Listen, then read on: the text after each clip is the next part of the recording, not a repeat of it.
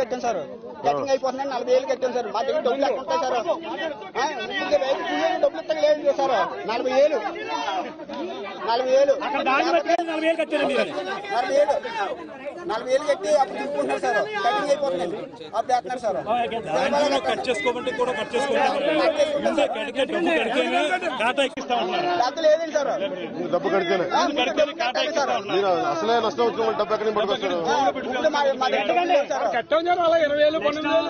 Sir అప్పులు తెచ్చి కట్టారు సార్ ఈ లారీ వెళ్ళిన తర్వాత వాళ్ళు దించుకోకపోతే twenty four hours forty hours చేస్తున్నారు సార్ మళ్ళీ ఇక్కడ.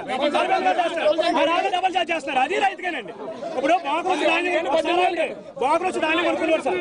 బాగురు బాగురొచ్చి కొనుక్కున్నారు సార్. బాగున్న దాన్ని వంద రూపాయలు తక్కువ బాగాలేని దాన్ని ఇంకో వంద తక్కువ అలా కొనుక్కున్నారండి. వెళ్ళిపోయిందండి మాకు ఈ గొడవ ఉంది కదండి. ఈ తిప్పలండి ఎందుకండి మాకు? ఈ తిప్పలండి ఎందుకండి మాకు? బాగురొచ్చి దాన్ని కొనుక్కున్నాడు మాకు డబ్బు ఇచ్చి కూడా అందంగా ఉండదండి. ఈ డబ్బు నెల పడుతుందో తెలు నాలుగు నెలలు పడుతుందో తెలు ఆరు నెలలు డబ్బులు ఆడ పడుతుందో తెలదండి ఎంత ఎంత బాధ అంటే అండి ఇవాళ పురుగు మందు కూడా అరువులు చేస్తాం వాళ్ళు డబ్బులు కట్టాలండి. డబ్బులు కట్టకపోతే అండి ఎరువులండి మళ్ళీ పంటగా ఎరువు అరువు రెండు నెలలు. కూలోళ్ళు డబ్బులు ఇవ్వాలండి. మళ్ళీ పంటకాలు రమ్మంటే రారు డబ్బులు ఇవ్వకపోతే. ఈ ధాన్యం డబ్బులు మాకు ఎప్పుడు వస్తాయి? మాకు ఏ సంచులు సిల్లులండి. సంచులు కొంటారా లేదా మా పని బాగున్నట్టండి మేము. తప్పు కదా అది? స్మగ్లింగ్ చేస్తున్నావా? లేదా కోరీలు అమ్మేసుకున్నావా? పండిన ధాన్యం అమ్ముకుంటున్నావా? నదిలేసుకు అమ్మేసుకున్నావా? ఏమన్నా యాభై ఎనిమిదిలో వచ్చినాయి సార్. ఇప్పుడు వెనకాల బండి నలభై రావండి. నలభై రావు కదా? మళ్ళీ మూడు గంటలు ఎగట్టా అవుతుంది కోత మీద పది ఆటాలు పండి ఆటాలు రాలిపోద్ది మూడు గంటలు అంటే చిక్కి చిక్కులు పడిపోద్దండి. అక్కడి నుంచి ఇక్కడ రావాలండి రైలు వట్టి నుంచి. ఇలా తిరిగి. కిలోమీటర్ వద్దండి. మెత్తగా నుంచి రావాలండి ఇటు రైలు కొట్టి నుంచి. మూడు గంటలు పడుతుంది అప్పుడు గంటకు మూడు వేలండి.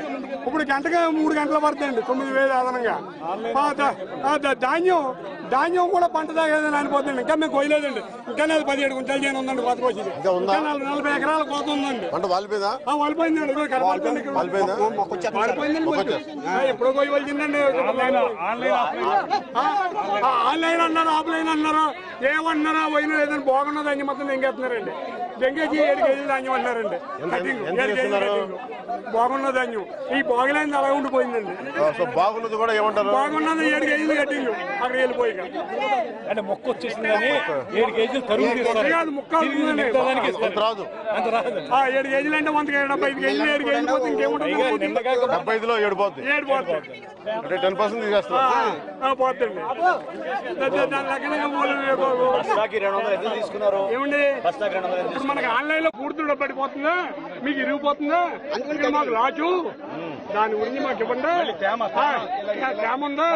ముప్పై ఇరుగుతుందా ముప్పై ఇరుగుతుందా మళ్ళీ ఆ జట్టుకి టన్నుకి యాభై రూపాయలు మామూలు ఆ, ప- మా నలభై టన్నులు అయితే నలభై యాభై నాలుగు రెండేళ్ళు. ఇంతకేం చోట దింపుకోరండి. మేము లారీ అక్కడ పెడతాండి లారీకి మాకు ఇరవై వేలు పన్నెండు వేలు ఇవ్వాలండి.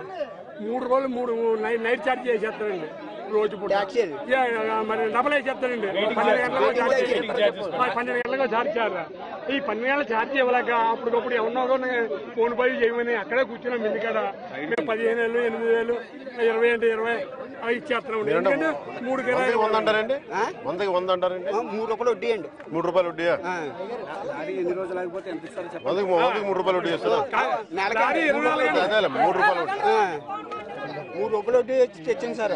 అప్పటికప్పుడు చంపపోతాను అందరూ కౌలు రైతులు సార్. కౌలు రైతులు. లారీకి ఎనిమిది గంటలండి లెక్క. మూడు ఎనిమిది ఇరవై నాలుగు గంటలకు మూడు ఎనిమిదిలు ఇవ్వాలండి మూడు లెక్క.